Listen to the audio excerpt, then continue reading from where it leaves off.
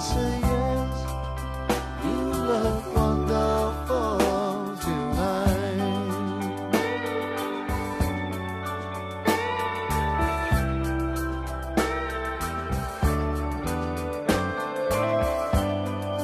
Go to a party.